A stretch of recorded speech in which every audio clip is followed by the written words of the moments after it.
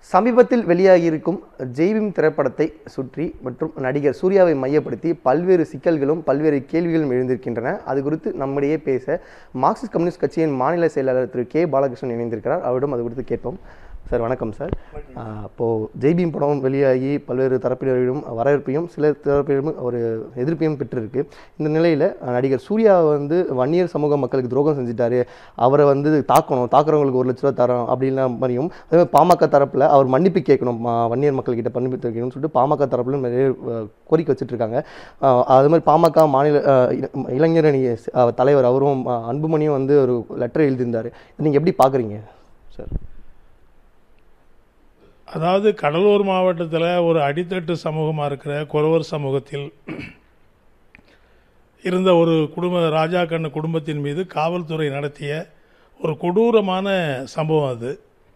அந்த சம்பவத்தை எதிர்த்து பல ஆண்டு காலம் மார்க்சிஸ்ட் கம்யூனிஸ்ட் கட்சிங்காரில் சட்ட ரீதியாகவும் களத்திலும் பல போராட்டங்களை நாங்கள் நடத்தினோம்.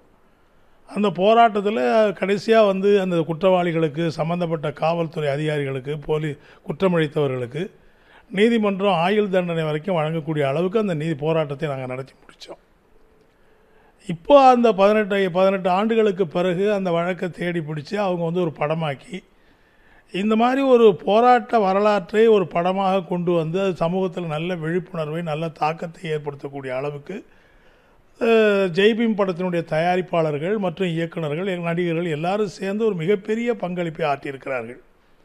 பொதுவாக தமிழ்நாட்டில் இந்த மாதிரி ஒடுக்கப்பட்ட சமூகத்தின் மீது தொடுக்கப்படுகிற அராஜகம் அக்கிரமத்தை பற்றிய போராட்டம் அது வரலாறுலாம் ரொம்ப ரொம்ப அரிதிலும் அறிவாக தான் இது மாதிரி படங்கள் வர்றதே தமிழ்நாட்டில் இருக்குது இப்போ பெரும்பகுதியான படங்கள் கதைக்கு உதவாத மாதிரி தான் இருக்குது ஆனால் இது வந்து நடந்த ஒரு சம்பவத்தை ஒரு உண்மையான போராட்டத்தை நீதிக்கான போராட்டத்தை ஒரு அராஜக அதாவது அடித்தட்டு மனுஷனாக இருந்தால் கூட இந்த நாட்டில் கேட்பதற்கு நாதி இல்லாதவர்கள் யாரும் கிடையாது.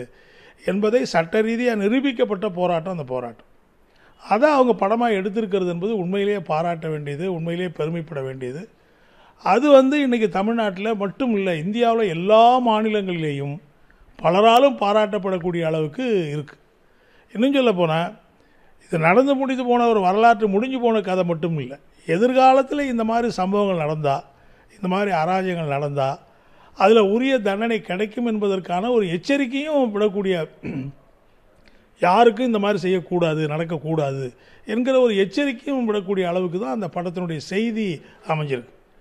இதில் யாரும் அவரே அதனுடைய தயாரிப்பாளரே தெளிவாக சொல்லிட்டார்.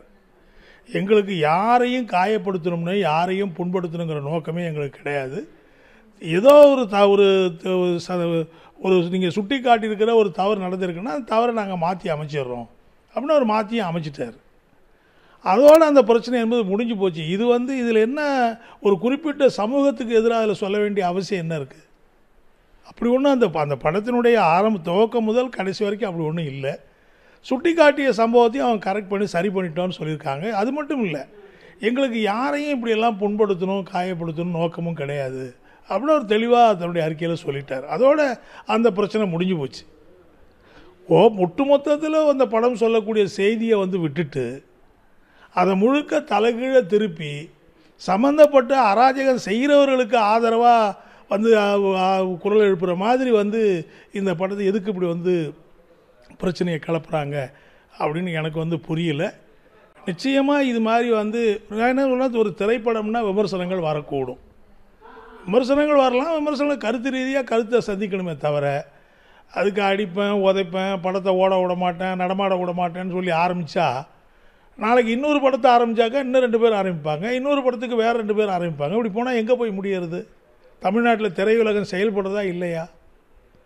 ஆகவே இது ஒட்டுமொத்தமான திரைப்பட ச உலகத்துக்கும் விடப்பட்டிருக்கிற ஒரு சவால் தான் நான் வந்து பார்க்குறேன். இல்லை இப்போது நீங்கள் ராஜா மனைவி பார்வதிக்கு பத்து லட்ச ரூபா அதாவது நிதி கொடுக்கணும் அப்படின்னு சொல்லி நீங்கள் கேட்ட போது ஒரு கடிதம் எழுதிருந்தீங்க அதுக்கு அவர் வந்து ரியாக்ட் பண்ணி ஒரு பத்து லட்ச ரூபா தரேன்னு சொல்லி உங்களுக்கு ஒரு கடிதம் எழுதியிருக்காரு. அதே மாதிரி விசிகா தலைவர் திருமாவளனுக்கும் திருமாவளவனுக்கும் ஒரு கடிதம் எழுதியிருக்காரு.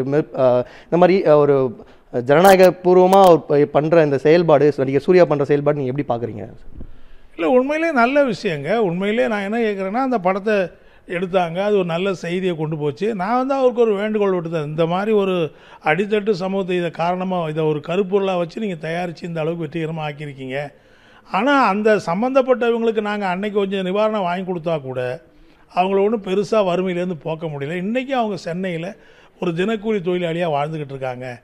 எனவே அவங்களுக்கு பொருளாதார ரீதியாக நீங்கள் வந்து உதவி பண்ணுங்கள் அதே மாதிரி அந்த குறவரின சமூகத்தை சார்ந்திருக்கிற இளைஞர்களுக்கு பழங்குடி மக்களுக்கு நீங்கள் வந்து முடிந்த வரைக்கும் உதவிகளை செய்யுங்கன்னு ஒரு வேண்டுகோள் தான் நம்ம விட்டோம்.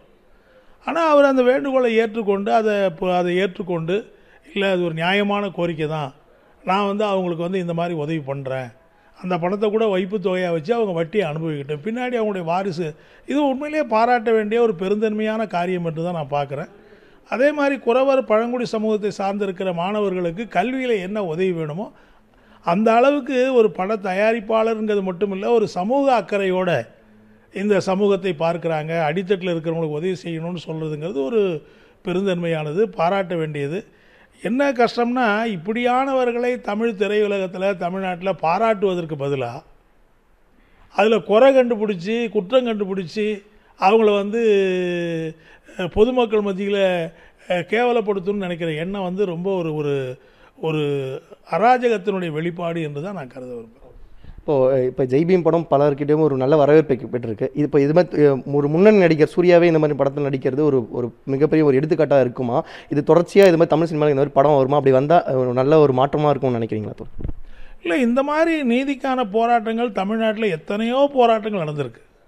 நூற்றுக்கணக்கான போராட்டங்கள் இதை விட கொடுமையான அளவுக்கு சித்திரவதைகளை அனுபவித்து அப்படியான போராட்டங்கள் நடந்திருக்கு. அதை எதிர்த்து சட்ட ரீதியாக மார்க்சிஸ்ட் கம்யூனிஸ்ட் கட்சியின் சார்பில் நாங்களே ஒவ்வொரு மாவட்டத்திலேயும் இது மாதிரி பல போராட்டங்களை நடத்தி அதில் வந்து வெற்றி கொண்டிருக்கிறோம்.